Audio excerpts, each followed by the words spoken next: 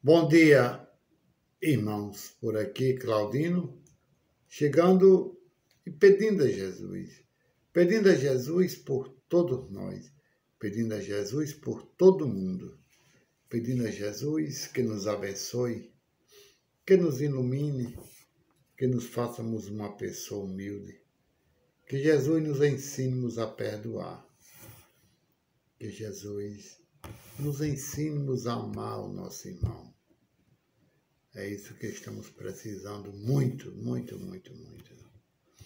Pedimos a, Jesus que nos dê paz, saúde, sabedoria. E pedimos a Jesus por esses irmãos que estão necessitando da cura. O nosso sargento Bonifácio está na UTI do São Luís aqui em Mossoró. Precisamos muito, muito, Jesus, muito da cura. Então vamos pedir a Jesus pelo Sargento Bonifácio, está com Covid. O Cabo César, lá no Tarcísio Maia também, Covid, diabetes. O soldado Alfredo está em Natal, internado para tratamento de rins. O Regilene aqui em Mossoró está se recuperando de uma cirurgia do joelho. Dona Eulalia vai fazer uma cirurgia. Gabriela está em São Paulo se recuperando de uma cirurgia. Sargento Gonçalo em Natal teve um AVC. Nosso amigo Caba Luiz lá em Areia Branca, muito depressivo. Dona Denise Maria da Silva, esposa do Caba Mourinho de Macau, se recuperando bem de uma cirurgia que ela fez de rins. E nosso amigo José Francisco da Costa está recuperando do Covid bem ligeiro, está bem o velho, está bem mesmo. Graças a Deus. Então tudo aí, Jesus. Essas pessoas que são irmão nosso, são irmão do Senhor, precisando da cura. E essa cura só quem pode fazer é o Senhor Jesus. Então lhe peço por eles. E esses dois principalmente o que está na UTI, o nosso sargento Bonifácio. Vamos pedir, vamos clamar, vamos orar, vamos rezar, vamos botar nosso joelho no chão e pedir a Jesus que cure esses nossos irmãos. E também aqui eu quero agradecer ao Senhor Jesus. Quero dizer várias vezes, obrigado Jesus, obrigado Jesus, obrigado Jesus por esse dia que o Senhor está me dando, mais um dia belo e maravilhoso pelo alimento que vou estar me dando. A minha, meus filhos, e você aí também do outro lado. Agradeça a Jesus. A coisa melhor que tem é você ser grato, é você agradecer. É a coisa melhor que tem. E também Jesus fica muito satisfeito com você que está agradecendo.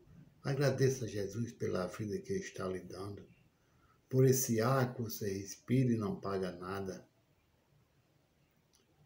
Agradeça a Jesus pelo alimento tem na sua mesa farto, todo dia. Será que quando você está se alimentando, está se lembrando que na rua tem milhares de pessoas passando fome?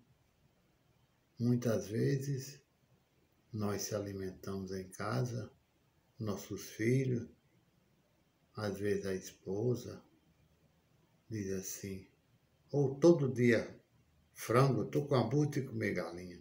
Ave Maria. Todo dia carne de gado, estou com abuso de comer isso. Isso é um grande pecado, você estar com abuso. Estou enjoada de comer isso. Não diga isso. Porque tem milhares de nossos irmãos na rua, nas calçadas, que queria ter um pão o café, almoço e janta. E nós temos a refeição farta, um café de manhã, temos o almoço, às vezes, com dois, três tipos de carne, uma janta boa também, e muitos de nossos filhos. Meu filho já disse a mim uma vez, eu reclamei com ela, ô oh, papai, todo dia galeto, frango? É, todo dia. E aquele que não tem? Então vamos agradecer a Jesus. Jesus fica triste com essas atitudes nossas. Vamos agradecer a Ele várias vezes. Obrigado, Jesus. Obrigado, Jesus. Obrigado, Jesus, por tudo. Quanto mais agradecemos a Jesus, mais vem coisas boas. Então vamos fazer isso. Vamos agradecer e vamos pedir a Jesus todos também. Jesus, leva esse rapaz, esse Covid para longe da gente. Que só o Senhor, só o Senhor no mundo inteiro é que tem essa condição. O Senhor e Deus. Só vocês dois têm essa condição de pegar esse cofre e levar, trancar ele lá no canto. É o Senhor que sabe onde é que ele está, é o Senhor que sabe onde é que bota ele. Então nós ficamos aqui nessa espera, nessa esperança que o Senhor faça isso, que o Senhor é bom, o Senhor é maravilhoso, o Senhor é justo. Nós é que somos ingratos, nós que não reconhecemos a sua bondade. Então, peço mais uma vez ao Senhor, nos ensine-nos a perdoar, nos faça-nos uma pessoa humilde, nos ensine-nos a amar nosso irmão e também precisamos pregar a palavra. Tem muito pouca gente pregando a palavra. Isso aí também entristece Jesus. Ele quer que você pregue.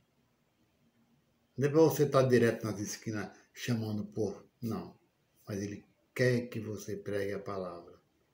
Pregar a palavra tem a hora e tem a oportunidade. Não é toda hora que você tem que estar blá blá blá, não. Tem a hora que você prega e aquele irmão vem na hora que você chama. Vamos fazer isso? Vamos pedir a Jesus por todos nós. Obrigado, Jesus. Obrigado. E se você gostou desse vídeo, curta e compartilhe e se inscreva no canal. E se não gostou, se inscreva também. Obrigado, Jesus.